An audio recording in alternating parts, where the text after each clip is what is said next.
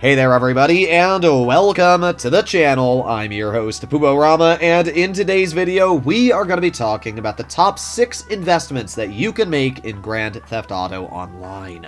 What I mean by investments are properties or things that you can purchase that over the long run will give you more money in your bank account. And while it may cost a lot in the beginning for the upfront cost, it is most definitely worth it in the grand scheme of things.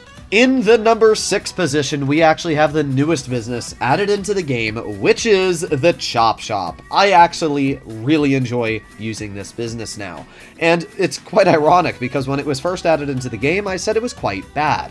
And the major reason I thought it was bad is because of the fact that you're only able to sell 3 cars a week.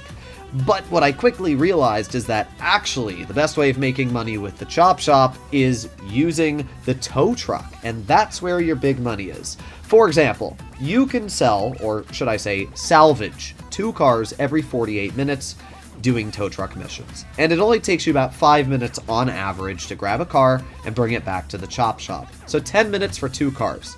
And in return, you are getting around $80,000 just in cash after the 48 minutes runs up from salvaging the cars. But you are also going to get a passive income in the business. Every two cars you salvage is going to increase it to the maximum of $24,000 every 48 minutes. And it is going to slowly decrease over time as you don't salvage vehicles. Essentially, if you do two cars in 10 minutes and you get that $24,000 of passive income and you don't touch it, you're probably going to net close to $300,000 by the time it runs out. That's a pretty solid chunk of cash in your bank for only about 10 minutes of effort. When you pair that with the fact that now Rockstar has added the ability to steal certain cars during update weeks and actually keep them in your garage for the low price of like $10,000, I would actually say the Chop Shop is an incredibly underrated business, and it's one of the best properties to get your hands on just because of how much passive income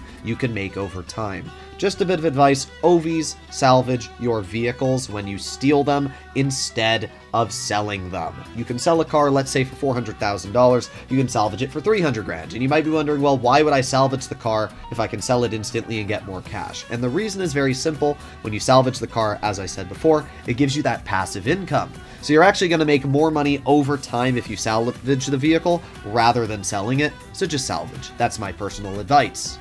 In the number 5 position, we arrive to the Auto Shop. This is one of the most important purchases you can make, whether you are a new or experienced player. Especially if you are a new player, though. On my Broke to Billions account, the new one that I literally just started a couple weeks ago, I already purchased the auto shop. That was literally the second property I bought right after getting my hands on the agency. Why, you might ask? Well, it's quite simple. In the auto shop, if you are under level 100, every single upgrade is unlocked for your vehicles. That is huge. For example, if you're not level, let's say 30, you're not going to be able to get like engine tunes upgrade level 2 or 3 or 4 at that.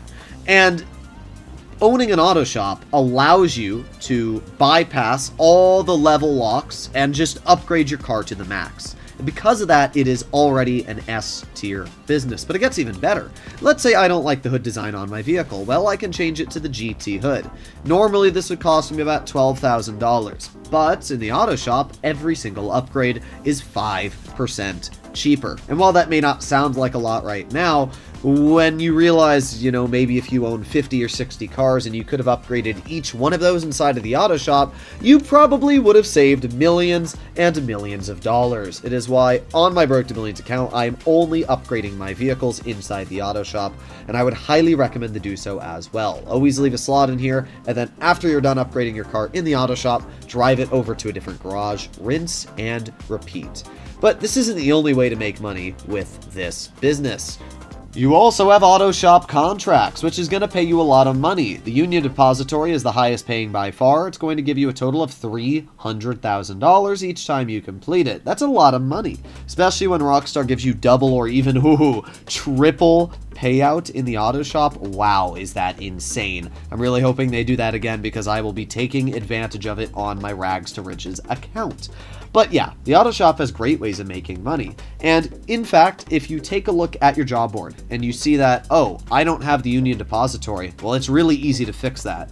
Choose one of the jobs, leave the building, call Sessanta on the phone, cancel work, and then go back inside the property and go back up to the job board, there's a pretty solid chance Union Depository will be there. If it's not, rinse and repeat. After probably a minute of doing this, it will pop up, and it is 100% worth the efforts because you're going to be making double the money compared to the other auto shop contracts. Overall, the auto shop has a very solid way of making money, and when you pair that with the fact you have massive discounts, especially unlocks at a low level, it's huge. One other thing I should mention is paint jobs. The auto shop unlocks all rare paint jobs. Ones where, like lime green, you have to go do sea races, who wants to do that? Especially low levels, there's no way that's happening in 2024. The auto shop gives you all the unlocks when it comes to paint jobs, which again, is just a huge lifesaver, so definitely would recommend to buy it. In the number 4 position, we have a very easy business to talk about, which is the arcade. I actually love this property, and it's probably one of my most used. First of all, let's talk about the upstairs, which is the main floor. You'll notice I have Monkey's Paradise literally every single slot in the arcade. And that is because it is the cheapest arcade machine that you can buy, and for some reason Rockstar doesn't care if you spam the exact same one in every single slot. And you're going to make the maximum amount of passive income if you do this at $5,000 every 48 minutes. Once all that money is accumulated, it's going to hop in the safe right here, and it's going to max out at $100,000. At this point, I've collected well over $3 million from my arcade's passive income, which is pretty good judging that the property itself cost about $3 million to get fully kitted out. So just the passive has paid for the entire property. But then we arrive at the Master Control Terminal, which is by far the best thing about this business, and it's my favorite thing ever. So if we take a look, we've got a bunch of different properties in front of me. We have the nightclub, gun running, coke, all the motorcycle stuff, then we got vehicle cargo, special cargo, and air freight cargo. Let's say I want to source air freight cargo. Well, that's fine. Go hop over here and I press source and it's literally just like I'm inside of my hangar. And oh, let's say I'm done with that and now I want to do special cargo. Well, that's fine. I'm registered as a CEO. I can sell my cargo here. Oh, I don't want to uh, do my sourcing. Well, I can sell it it's so easy. You can do vehicle cargo, then you can go over your gun running, and you can do all of that stuff here. You can manage your nightclub popularity. Notice how my nightclub has like zero popularity right now? Well, if we go to Resident DJ, and we go to Solomun, and we rebook him, and then we go over to Dixon, and we rebook him, and then we go over to Solomun again, and then we leave the page, you'll see now my popularity is at about 30%. So you can run all of your properties from this one business, and it makes doing sale missions, it makes doing sourcing, and keeping an eye on your overall product way easier, and I would highly recommend to do so. The final reason why this property is amazing is down to the fact that it has a heist, the Diamond Casino heist, which pays you about the same amount of money as the Cayo Perico heist. The difference is you need two people instead of one, but still, the fact that you can do this heist, make a lot of money, paired with the fact that you also can purchase this property and control all of your other businesses while making passive income is kind of crazy, and it's definitely one of the best investments that you can get. In the number 3 position, we have one of the undisputable GOATs, the nightclub. This property is amazing. You have two different ways of making money with the nightclub. The first is your passive income. Right now, we can see that I have $100,000 in my wall safe, and my popularity is pretty much in the dumps. But Marcel just messaged me on the phone. And he said if I kick somebody out who's puking in the bathroom, he's gonna raise my popularity. You can do this whenever you hop into your nightclub once every 48 minutes. If you hop into passive mode, apparently you can do it every time. Pretty sure Rockstar patched it though.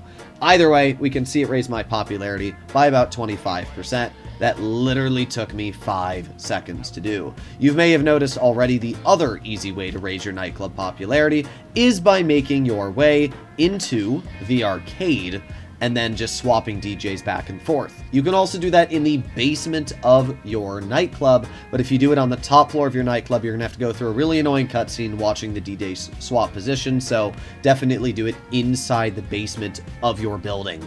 The second way of making money with the nightclub is selling goods that are accumulated throughout your other businesses. If we go to warehouse management, we can see that there are five technicians spread across. And these technicians are assigned to different goods. We have cargo and shipments, which is special cargo, sporting goods, South American imports, which is obviously the Coke.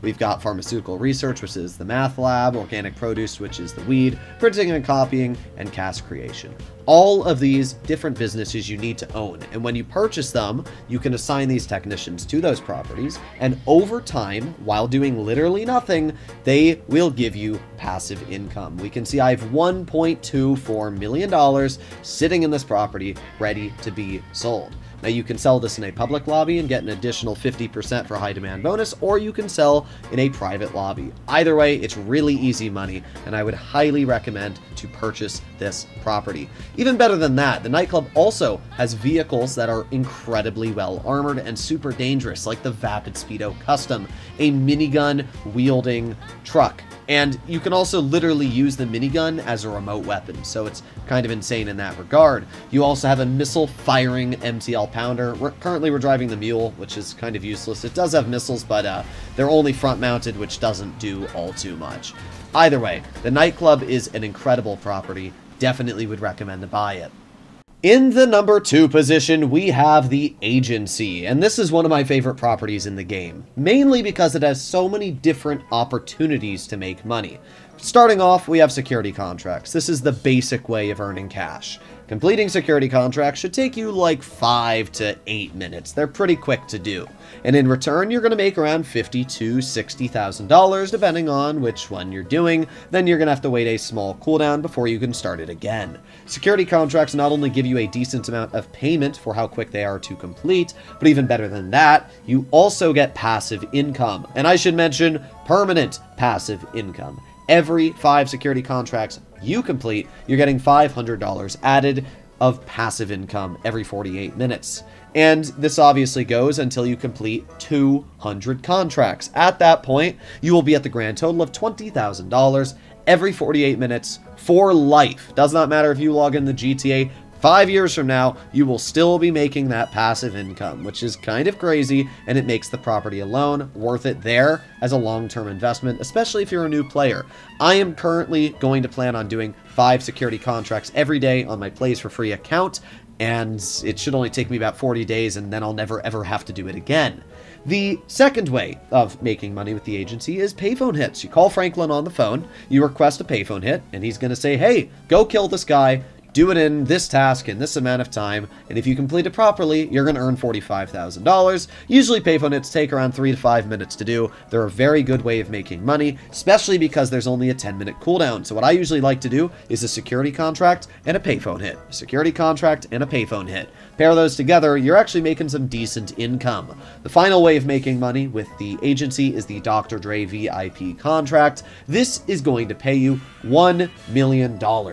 Not only that, but on your first completion, an additional 250,000. That's a lot of money. So the Dr. Dre VIP contract is amazing, and when you pair all of these things together, it is a great way of earning income. Sure, the Kosatka makes more, which, funny enough, we'll be talking about the Kosatka very soon, but in terms of overall capabilities, I'd still rate the agency as one of the best investments in the game. And there's still one final thing I should say about the agency, and that is Imani Tech vehicles. Not only does purchasing this property give you a 21 car garage for free included, but you get the ability to upgrade Imani Tech cars. In front of us, we have the Canis Terminus.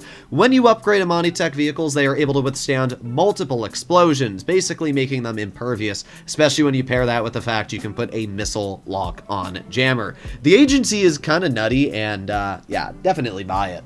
And in the number one position, we have the Kosatka for multiple different reasons, which we'll obviously be talking about. First of all, we have the Cayo Perico heist. This is obvious, but it's very true. It is still the most efficient way of making money in the game, and I would highly recommend if you don't own this property to buy one, just so you can get your hands on the Cayo Perico heist and make a decent chunk of cash there to build up your other properties and businesses. That alone is amazing. You're going to net around a million dollars each time you do the heist, and you can get it done, start to finish with all the setups, at around 40 to 50 minutes if you're fast enough.